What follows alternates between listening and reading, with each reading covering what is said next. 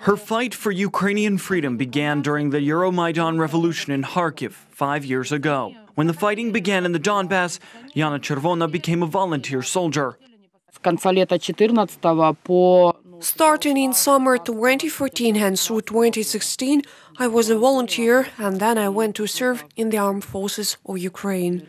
She first served in the 54th Brigade and then in the Donbas Ukraine Battalion. Her military job was machine gun operator. It is infallible, it never jams. Her comrade in arms, Serhiy Miliutyn, was also mentioned by journalists many times. Here, he showed what he cooked for his friend's birthday on the front lines. We will keep on serving. Both Serhiy and Yana believed that they would come home soon. A husband and two little children were waiting for Yana back home. Mom, will you be back soon? We want to see you so much.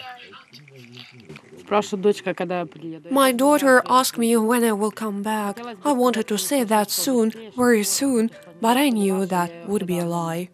That video was shot two months before Yana and Serhiy died. Yana said that the war changed her life.